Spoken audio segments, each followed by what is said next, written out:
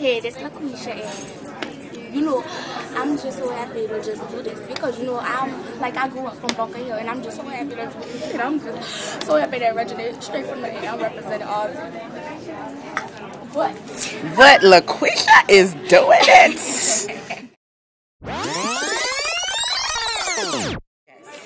this is Regina and you know I'm at my mother's book sign.